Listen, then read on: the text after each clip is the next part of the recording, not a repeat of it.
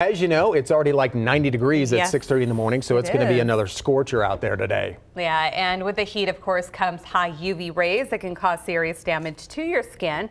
Fox 5's Dylan Kendrick is live this morning at Cancer Comprehensive Center, sharing ways to keep your skin safe. Important information. Good morning, Dylan. Very important, guys. So what I did was I broke out my hat. I have a handful of sunscreen, so I'm just going to start lathering this bad boy up. But the big question here, Doc, as you watch me gracefully massage my face, is uh, is this enough? Is the sunscreen on the face and the hats enough as you walk out the door midsummer in Las Vegas?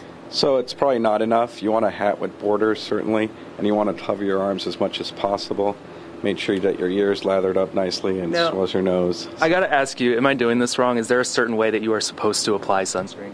There's no way. You just need a thick lather on. You know, just make sure you cover all exposed parts that you can possibly, you know, Get to. exactly. So. All right, let's also talk about this machine because you know, as you know, we're Las Vegans. We're not afraid of the heat at all here. But when we start to see spots on the skin, we don't know what it is. Maybe thinking cancerous. That's when you come into play. That's where this machine comes into play, right? Right.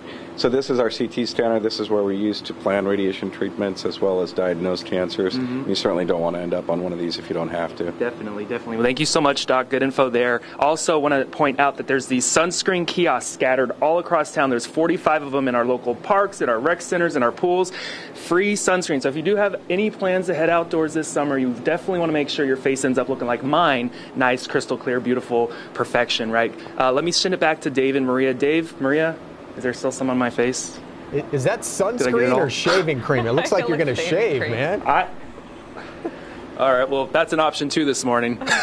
Maybe a two-in-one product. There you go. Come up with a new product. two lot in of one. moisturizers do have it. So. All right. All right. Make sure you get it. Yeah, all in and yeah, all over. Thank you to the perfect skin of Dylan Of Kendrick Dylan for that. Kendrick.